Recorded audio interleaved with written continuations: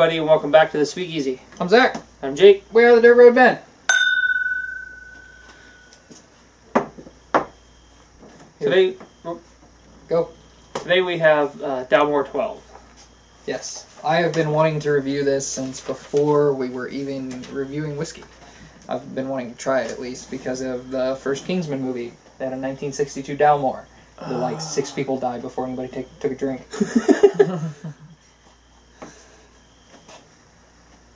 and then the first guy to take a drink also got cut in half.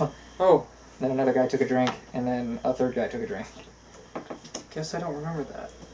The scene with uh, Mark Hamill at the beginning of the first Kingsman, where the guy comes in to save him and kills all the people. Mark Hamill's tied to the chair. Oh, yeah, yeah, yeah. yeah And then yeah. he goes to answer the door, and it's Samuel L. Jackson. But before he can answer the door, the chick cuts him in half. Yeah, yeah, yeah. Okay. Long ways. Oh, yeah. and then they cover up all the bodies with sheets. Okay. Yeah. So, that's cool, because this uh, comes into pop culture twice. Okay. Um, so, uh, it was founded in uh, 1839 by Alexander Matheson, and he ran it for 28 years, and then he decided to uh, pass it on to an Andrew and Charles Mackenzie.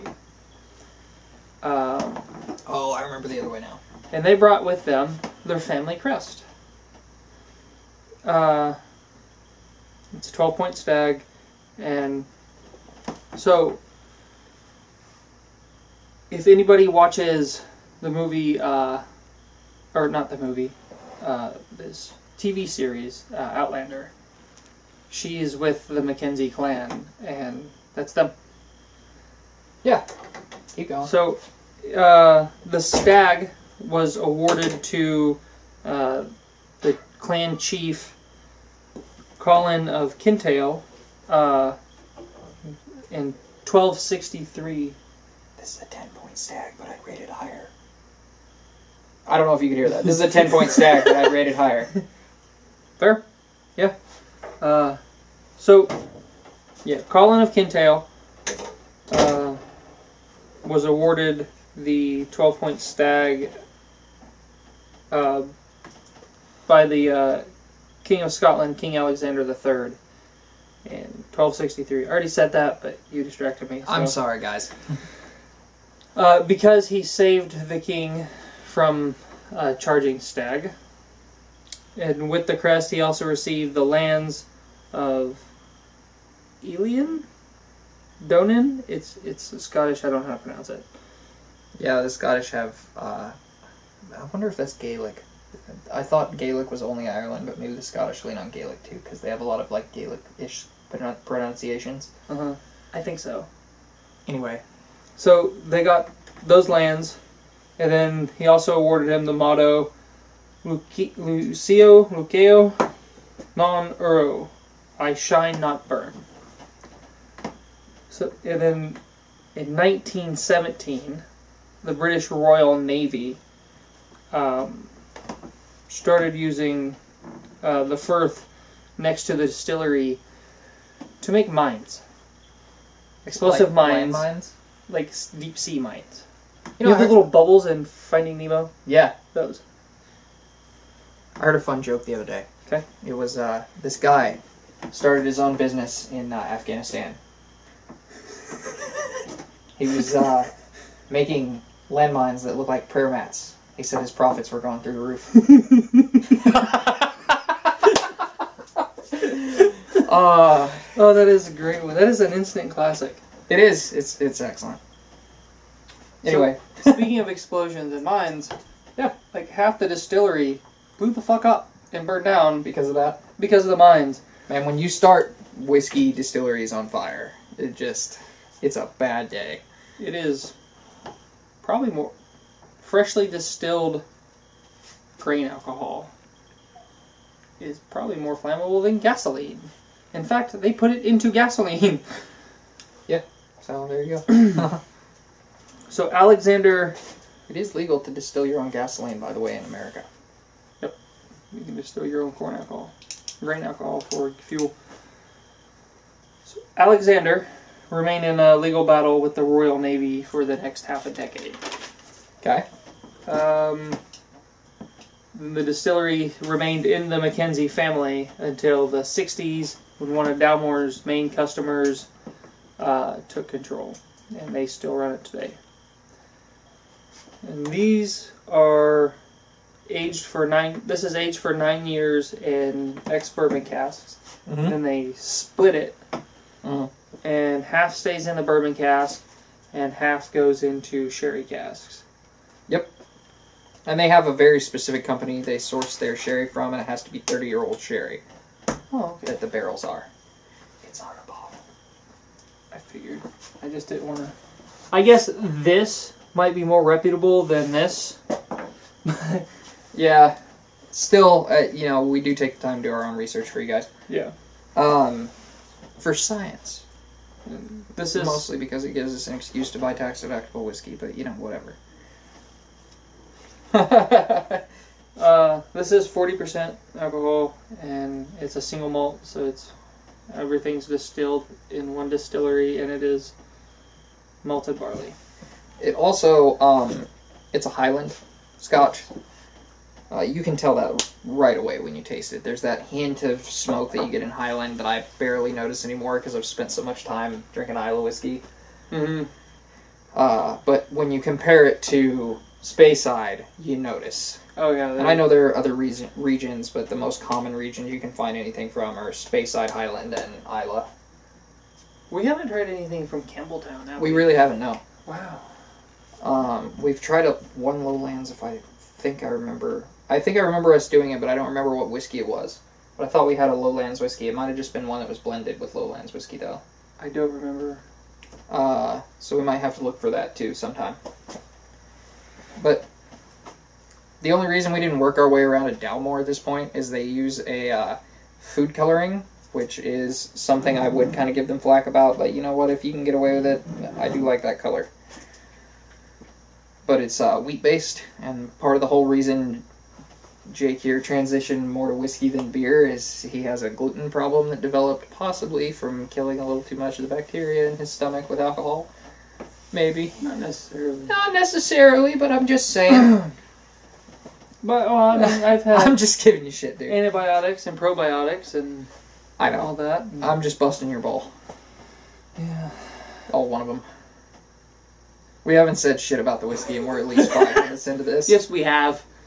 Okay, we haven't said shit about the taste. of the Very, very fruity. yes, Uh, very fruit forward, you might say. I think I did. He did before the video started. um, it's just super friendly. It is. It is a little. I would like to see another two to three percent out of this whiskey. It's just Yeah. a little bit thin on the tongue. A lot of Scotches and Irish whiskeys are proof down to forty, and I get it. But just that that little two to three percent, you're still diluting it, and it just gives it a little bit more body that I would appreciate. That's the only thing I would change about this whiskey, though. It is a solid offering. I mean, there are, there are things that I would like more, but that's the one thing I would change that they could do easily. I would like, just for fun, cask strength. I want cask strength everything, especially I want to try a cask strength ver- version of everything, and then I always tell myself that I want to dilute it to the proof that I like, and I Never. never, have even tried. Never. I, I sat there. I, I I attempted to with some Stagg, and I sat there and I had little bottle of water and the straw, and I'm sitting there and I was just staring at this glass of whiskey, and I'm like, I'm not gonna run it. I, I did try rare breed over ice because one of the perks of cask strength whiskey is it should stand up to ice well. And I just, I mean, it was still good, but I just wanted to cry. Like, Now I have cold it's like, you know, 101. the, the, the birth of my children, the movie Warrior, and pouring good whiskey over ice. Fuck my shit up, man. yeah, especially with like rare breed or probably even the Russell's Reserve. Um, Ra- Russell's Reserve punched above rare breed. Yeah, yeah, But- oh, I see what you're saying.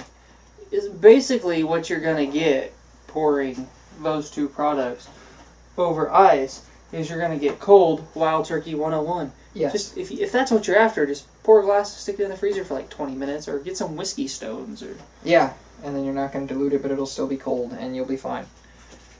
But that said, now that we've ranted about forty percent for a minute, it I do get um, figs on this, as well as the normal like plums. It's a dark fruit forward. I don't get anything like grapes, like white grapes anyway, or, or anything like that, which sometimes happens with wine. Like wine finished stuff, like sherry. Oh, I was like- gonna say sometimes you get white grapes on wine. No fucking wonder.